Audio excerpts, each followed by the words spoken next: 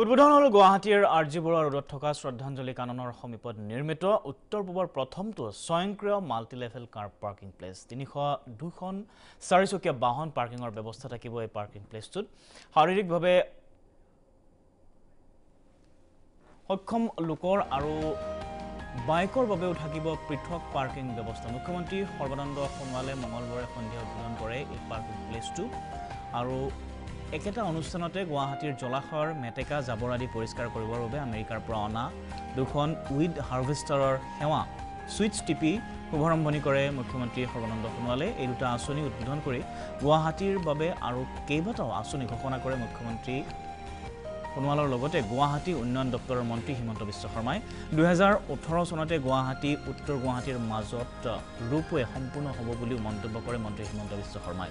চৈধ্য কোটি তেৰ লাখ সাতাশী হাজাৰ টকা ব্যয়েৰে আৰ আৰ পাৰ্কন নামৰ কোম্পানীটোৱে নিৰ্মাণ কৰি উলিয়াই মাল্টি লেভেল কাৰ পাৰ্কিংটো পাণবজাৰৰ এম এম চিৰ সমীপৰ আৰু গণেশগুৰিতো এনে multi level car parking place শীঘ্ৰে সম্পূৰ্ণ কৰা হ'ব বুলিও মন্ত্ৰীজনে জানিবলৈ দিয়ে আনহাতে শুক্ৰেশ্বৰ মন্দিৰৰ পৰা ভৰলুমুখলৈ এই পথছোৱা প্ৰতি দেওবাৰে বিয়লি তিনি বজাৰ পৰা নিশা দহ বজালৈ খোজকঢ়া আৰু উপভোগ্য স্থান হিচাপে ব্যৱহাৰৰ বাবে যান বাহনৰ বাবে বন্ধ ৰখা হ'ব বুলিও মন্তব্য কৰে গুৱাহাটী উন্নয়ন দপ্তৰৰ মন্ত্ৰী হিমন্ত বিশ্ব শৰ্মাই। বাইছ অক্টোবৰত পৰীক্ষামূলকভাৱে পথছোৱা বন্ধ থাকিব।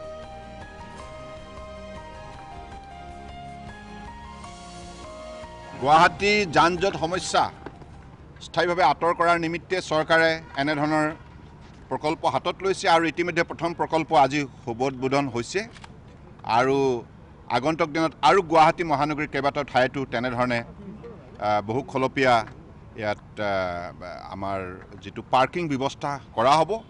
গতিকে মই বিশ্বাস ৰাখিছোঁ এনেধৰণৰ উদ্যোগে আগন্তুক দিনত গুৱাহাটী মহানগৰীৰ এই দীৰ্ঘদিনীয়া সমস্যাটো আঁতৰ কৰাৰ ক্ষেত্ৰত আমি সফলতা অৰ্জন কৰিব পাৰিম আৰু বিভাগৰ মন্ত্ৰী ডক্টৰ হিমন্ত বিশ্ব শৰ্মা আৰু তেখেতৰ অধীনত কাম কৰা বিষয়া কৰ্মচাৰীসকলে এই কামটো সম্পূৰ্ণ কৰাৰ ক্ষেত্ৰত তেখেতসকলে নিষ্ঠাৰে সেৱা আগবঢ়াইছে। মই তেখেতসকলক ধন্যবাদ জনাইছোঁ।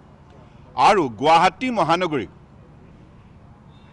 এছিয়াৰ ভিতৰতে এখন উল্লেখযোগ্য মহানগৰী হিচাপে গঢ় দিয়াৰ আমাৰ চৰকাৰৰ দায়িত্ব আছে।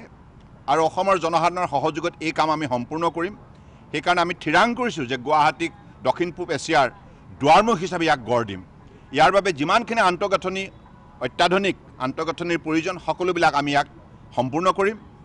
ইয়াৰ পাৰ্কিং ছিষ্টেমে হওক ইয়াৰ বিউটিফিকেশ্যনে হওক ইয়াৰ ড্ৰেইনেজ ছিষ্টেমে হওক আৰু আপোনাৰ দ্বীপৰ বিলখন পৰিষ্কাৰ কৰি এটা টুৰিজিমৰ বাবে এটা আকৰ্ষণৰ কেন্দ্ৰবিন্দু হিচাপে ইয়াক গঢ় দিয়া হ'ব।